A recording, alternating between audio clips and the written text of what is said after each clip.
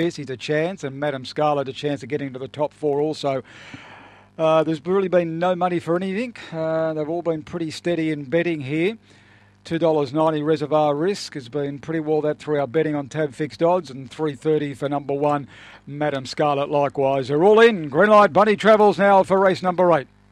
Ready, Racing, Madam Scarlet left okay with Bogan Boy Racer. Through the centre now with Scar Status Seeker looking for the lead and Fab 7. Bogan Boy Racer was put on its head and out the back to the tail.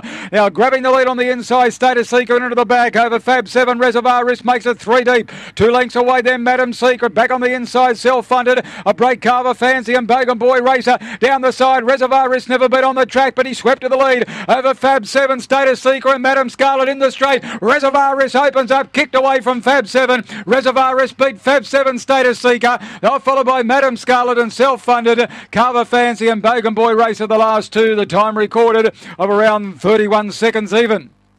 Number six, Reservoir Risk, done it pretty tough in running, but has been too good. At around 340 and 240 by Knocker Norris out of Lochinvar Camilla.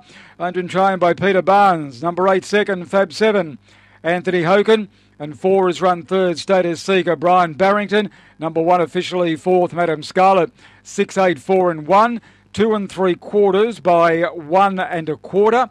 31.04 was the amended time. Sectionals of 5.45 and 15.82, and the run home of 15.22. So Reservoir Risk, he was three deep down the back outside the other two leaders, uh, Fab 7 and Status Seeker, and he was probably a good 4 5 wide throughout. He swept to the lead down the side and finished it off nicely. So he's covered a bit of territory, but he is still too strong for him, Reservoir Risk. Bogan Boy Racer got away nicely, but he was just uh, put on his head at the first corner, and he was out of play.